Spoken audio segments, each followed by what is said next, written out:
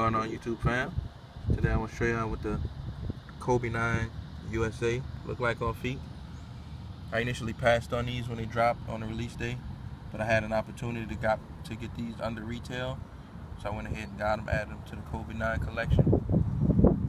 If you're not, um, if you don't have a Kobe 9 yet and you're in the market or thinking about copping one sometime in the future, I went true to size on mine and they feel pretty good. If you even if you have wide feet, I think you'll be okay true to size.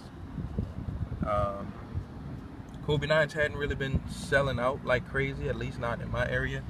Majority of the colors still sitting on shelves, the low tops at least.